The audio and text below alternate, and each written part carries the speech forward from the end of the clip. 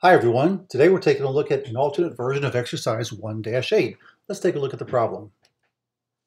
The problem reads, on October the 1st, Ebony Ernst organized Ernst Consulting. On October the 3rd, the owner contributed $71,500 in assets to launch the business. On October the 31st, the company's records show the following items and amounts. Use this information to prepare an October income statement for the business. So at the end of October, they have cash of 11,250.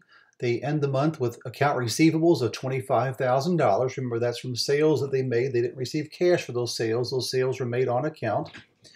They have remaining office supplies of $1,200. They have land of $28,000, office equipment of $18,000, accounts payable of 5000 so those are amounts that they owe those were things that they purchased or expenses that they incurred that they just didn't pay out in cash they're going to pay those off in the future they have an iou called an account payable that'll be settled up eventually common stock of 71500 they paid out cash dividends of 2000 during the month they had consulting revenues of 25,000. Well, that's interesting. They had total revenues of 25,000 and account receivables of 25,000 as well. So start thinking, did they actually receive any of these consulting revenues in cash for the month? Well, the answer is no. All that was on account, which they'll receive in the future, future month. Rent expense of 4500 So as we start looking at these expenses, we're wondering, well, were some of these expenses included in this accounts payable? This amount of expenses that just haven't been paid yet. They were incurred, but just hadn't been fully paid yet. Mm-hmm. So rent expense of 4500 salaries expense of 10000 telephone expense of 850 miscellaneous of 700 now they also give us some very, very important notes. These are notes that would be typically available at the end of the financial statements, typically called the notes to the financial statements. We've summarized just a few here and let's read them. The first is that the owner's initial investment consists of, remember how much common stock there was, $71,500 of common stock. That consists of two things. The owners contributed cash of $43,500, and they also uh, contributed a non-cash asset called land, 28000 So how much cash did the company actually get then from the owner's initial investment?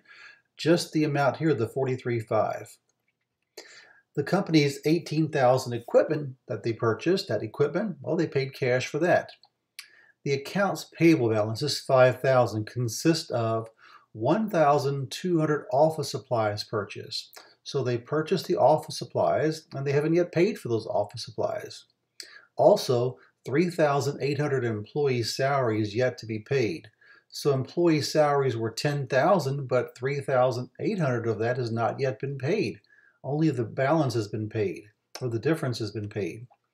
It does say the company's rent, their telephone, their rent expense, the telephone expense, and their miscellaneous expenses were all paid in cash.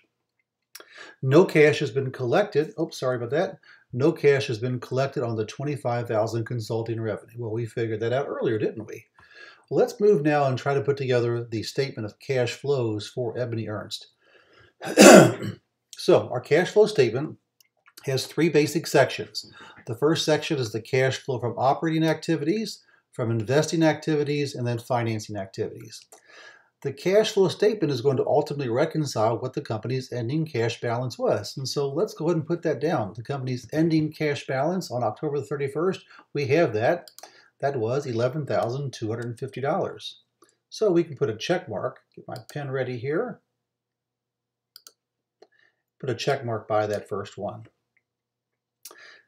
Now let's take a look at from operating activities. What was the cash that they received and paid as a result of operating activities? The selling uh, that they that they incurred, their consulting revenue, any cash they received from that, and the expenses they incurred, the operating expenses for the period as well. So first, cash received from customers. Well, we know they had consulting revenue of 25,000. They also have that account receivables of 25,000 we saw the note that said no cash has been collected yet. So for our cash flow statement, how much cash came into the company as a result of money being collected from the customers? Nothing, nothing at all. Let's take a look at the next one. Some expenses. How much cash did they pay to employees? Well, the salaries expenses that they took was $10,000, but did employees get all of that in cash?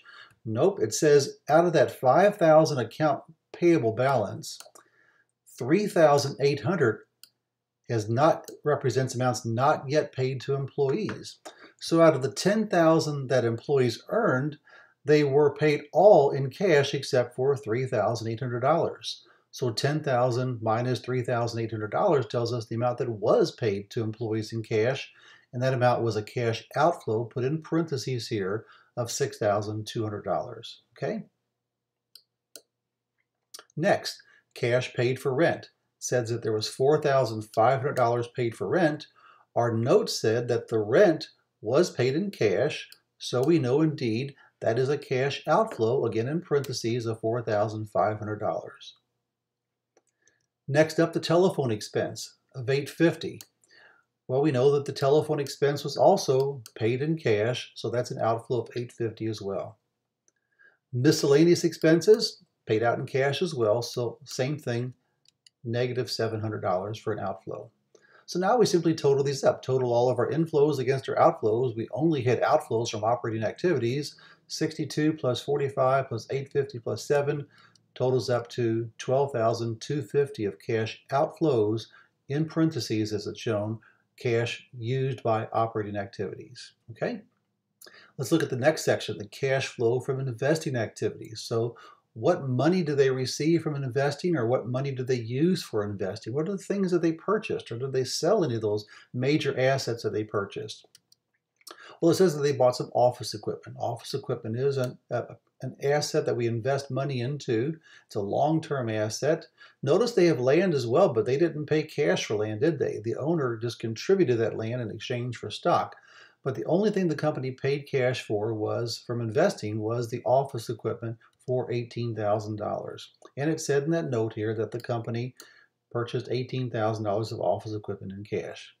Now let me go ahead and also check off the earlier ones here. We finished up D as well. Um, let's take, and we finished C as well too.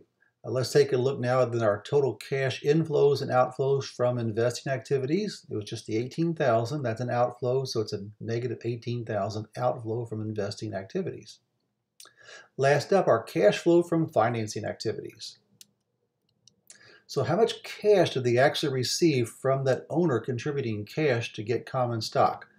Notice that the, the amount of common stock the company issued altogether was $71,500.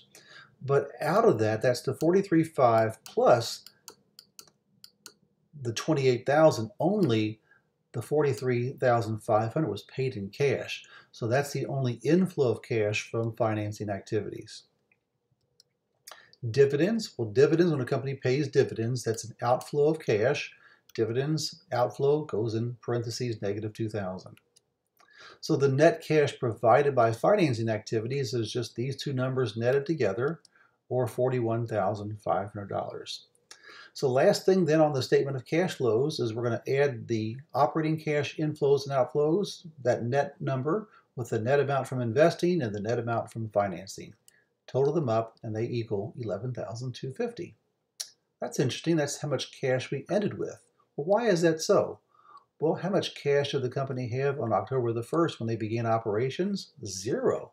But they ended with 11,250. So where did that cash come from? These three sources. The company got most of its cash from the owner, $43,500.